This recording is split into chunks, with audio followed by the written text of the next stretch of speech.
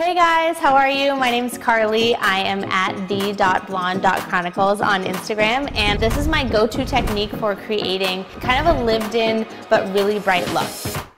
My approach to everything is just less can be a lot more. Just because you backcomb doesn't really mean you want to just go in like this and leave that line like that. One of the most underrated spots on someone's head is this section right down here. This is a great spot to get a lot of brightness when they pull their hair in the front.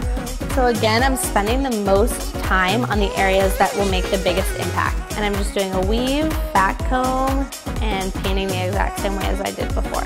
The phrase to highlight everything is to highlight nothing really comes into play here. I'm not gonna focus on putting 100 foils back here. Nobody is gonna see this. It's gonna be the perfect like blend of light and dark. This technique, I like it because it's pretty simple. Yay!